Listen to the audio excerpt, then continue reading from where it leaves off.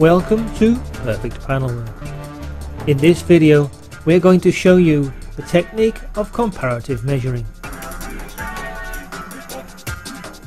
With any vehicle that has suffered a frontal impact, it is standard practice to take a few measurements to check for structural shift. By far the quickest method to use is comparative measuring.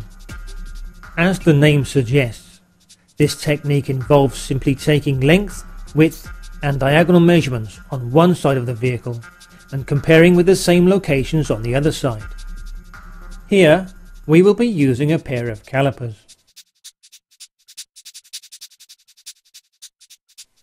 Most modern cars have bolt-on front wings and the rearmost wing retaining bolts in the engine bay are removed.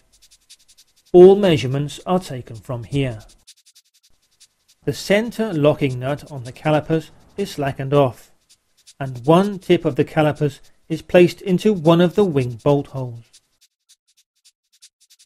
The other caliper tip is placed at a point at the front of the vehicle. Here we are checking the chassis legs.